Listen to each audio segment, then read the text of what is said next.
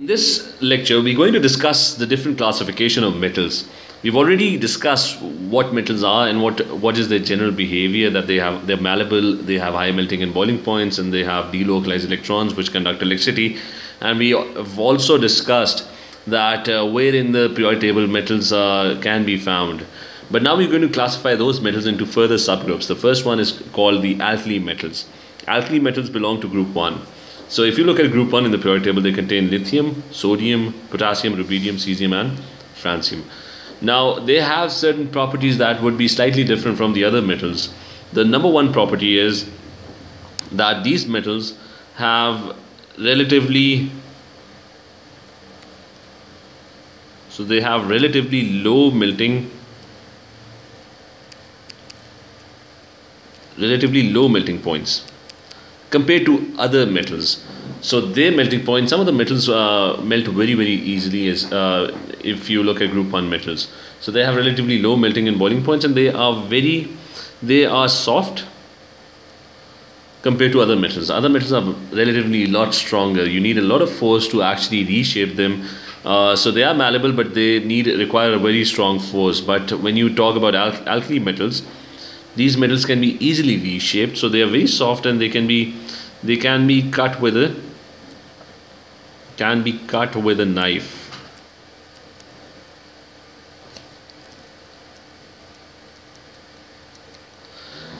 And now the other property of alkali metals is the third property is that they have low densities as well.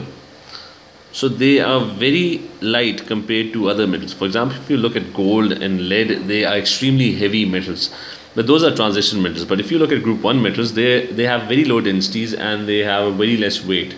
So uh, and especially lithium uh, the first three lithium sodium and potassium they have uh, a lower density compared to water. So they are going to float. If you if you put them in water they're going to float on top of water. So they float on water compared to the other metals the fourth property of alkali metals is that they are extremely so they are extremely reactive. And most of the reactions are going to be they're very going they're going to be very very explosive. Reactions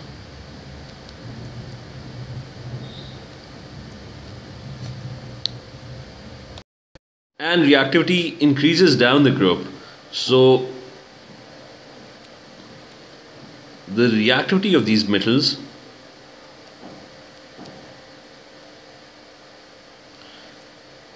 increases down the group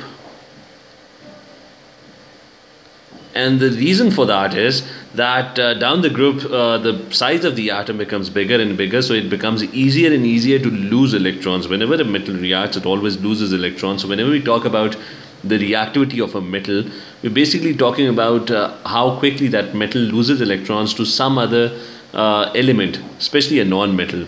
So whenever metals react they're going to be losing electrons. So reactivity increases down the group. This brings us to the fifth point which is since we have discussed reactivity that the reactions are going to be explosive. Now the reason why these are called alkali metals is because if you if you uh, rea react them with water they have very violent reactions with water so the reactions are going to be explosive and an alkaline solution would be produced. For example, if you pick Na and you react it with H2O, then they're going to react and they're going to produce NaOH plus hydrogen gas. So for all alkali metals this reaction applies the metal is going to react with water hydroxide is going to be produced and hydrogen gas would be produced so uh, the first observation, you get a lot of questions on the observation. Since hydrogen gas is produced, so you're going to see effervescence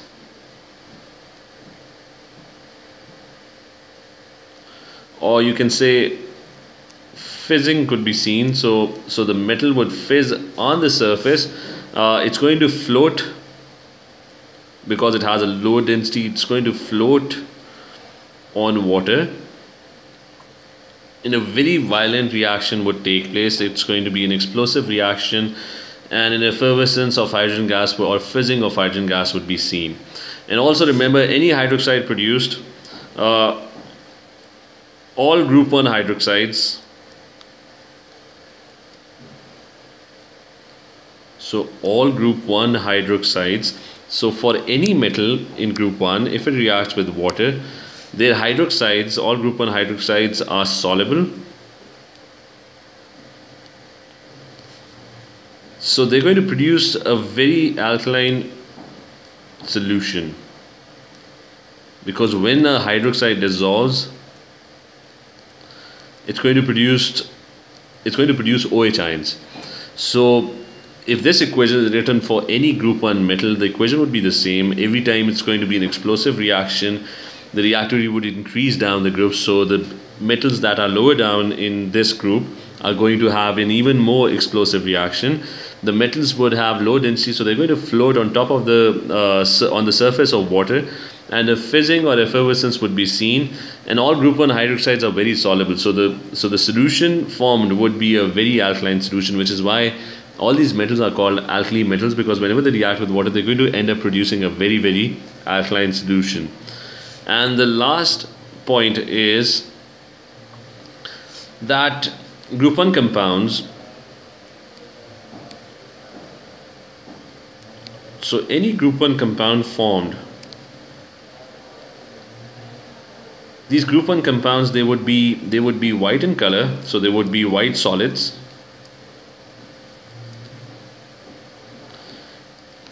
And they would all be soluble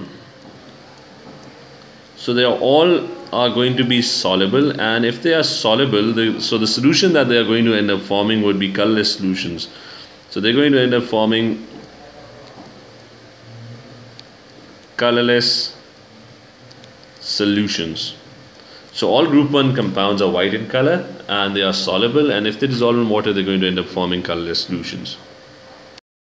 In this lecture we're going to discuss the alkaline earth metals.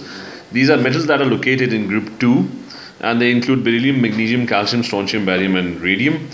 The first thing about these metals is that they all have uh, two electrons in the valence shell. So the neutral atom two electrons in the valence shell. Now, if they have two electrons in the valence shell, since they are metals, they're going to be losing electrons, so they always have a charge of plus 2. So they're going to lose two electrons when they react. And when they lose two electrons, they're going to get a charge of plus 2. So the oxidation state is plus 2. Now beryllium is uh, slightly different. It doesn't lose electrons, but beryllium is not in the course for ordinary level or uh, O levels. So beryllium uh, makes covalent compounds. It's a very small atom, so it tends to attract those electrons very, um, very strongly. So it doesn't lose electrons like the other metals. So beryllium is an anomaly. So we're going to ignore that for now. Now all these metals are going to lose two electrons, and uh, whenever they're going to react these metals are also they are also reactive but the reactivity is uh, it's less compared to compared to the alkali metals which were group 1 metals so it's less compared to group 1 metals. And the other thing about reactivity is that the reactivity increases down the group. So as you move down the group, these metals become more and more reactive. So because the atom becomes bigger and if, you, if it's a bigger atom it's easier to lose electrons. So whenever they're going to react they're going to lose two electrons. So bigger atoms are going to lose electrons easily so hence uh, reactivity would increase down the group now when we're talking about reactivity a very common thing that is discussed is uh, the reactions with water.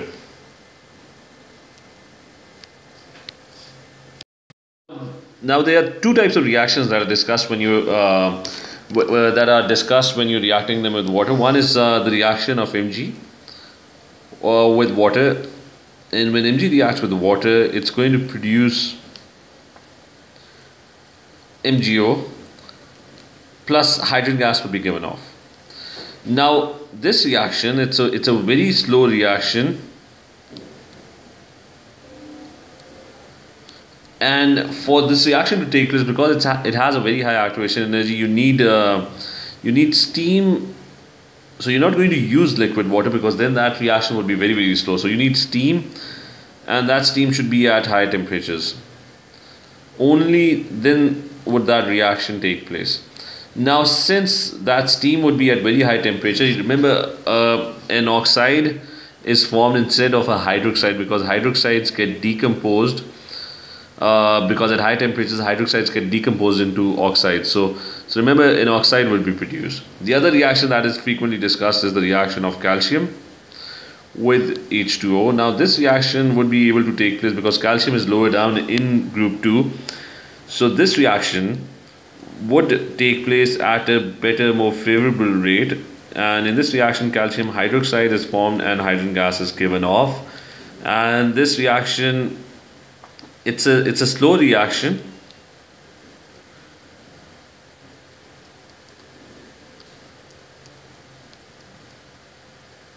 in the cold. So it's a slower reaction if you if you're if you're using cold water. But if you increase temperature the reaction would speed up. But even then uh, you're going to notice this reaction. This reaction would be occurring at a favorable rate compared to magnesium. Magnesium's reaction with cold water is going to be very very slow. So this reaction would be slightly faster. So you're going to see slight effervescence when you add calcium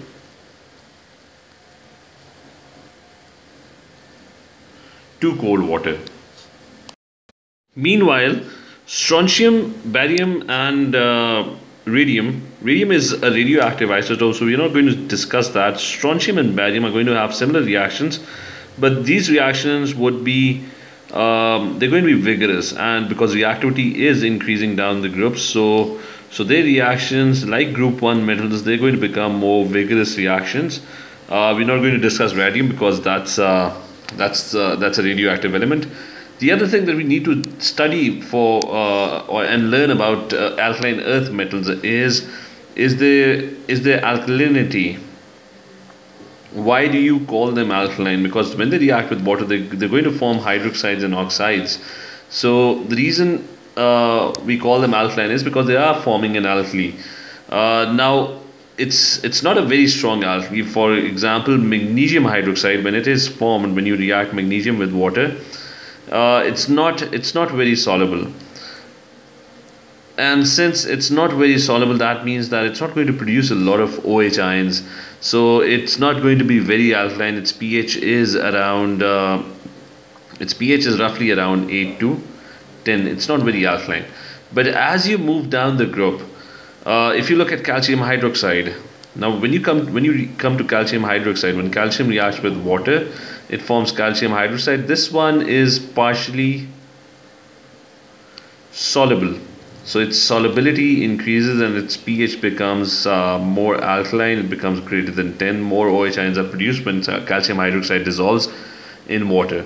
And as you move down the group, strontium hydroxide and barium hydroxide, let's ignore radium hydroxide, uh, strontium and barium hydroxide, their solubility increases. So as you move down the group, uh, solid they these compounds are soluble, which is why they're going to be very alkaline.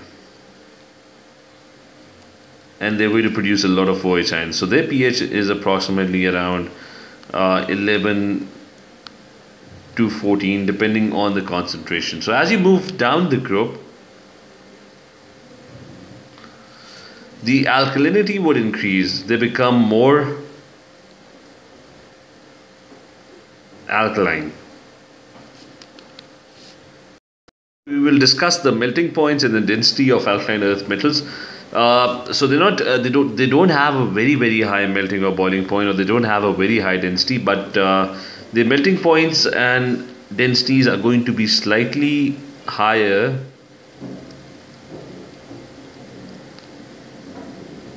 when you compare them to group 1 metals.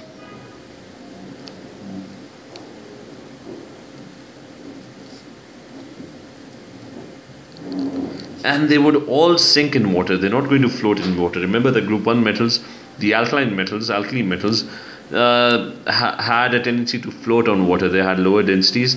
But all of these group 2 metals, they are going to sink in water. And the last thing that you need to know is that the compounds, the most common compounds are white in color,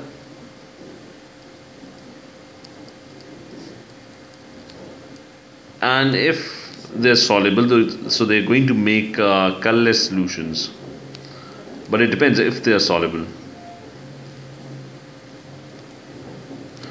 So some very common compounds that you're going to study later on are calcium carbonate which is called uh, limestone.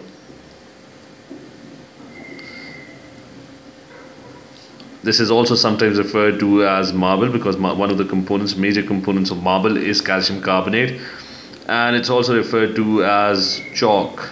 So it's it's a it's white in color, which um, so this is limestone.